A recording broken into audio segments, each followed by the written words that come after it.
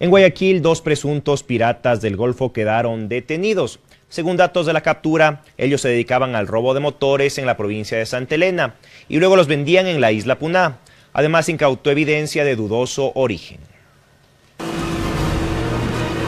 Los venían siguiendo desde el año pasado porque según la información de la Unidad de Inteligencia Militar, su centro de operaciones eran los mares de la provincia de Santa Elena, en esta embarcación tipo fibra.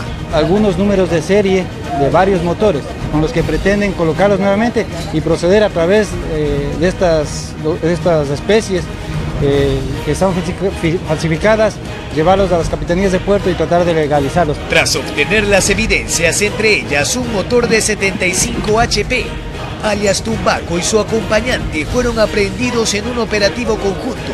Al sujeto alias NN se pudo verificar y contactar que le hizo la entrega de, aproximadamente mil dólares al sujeto alias Tambuco por la, por la venta de dicho motor.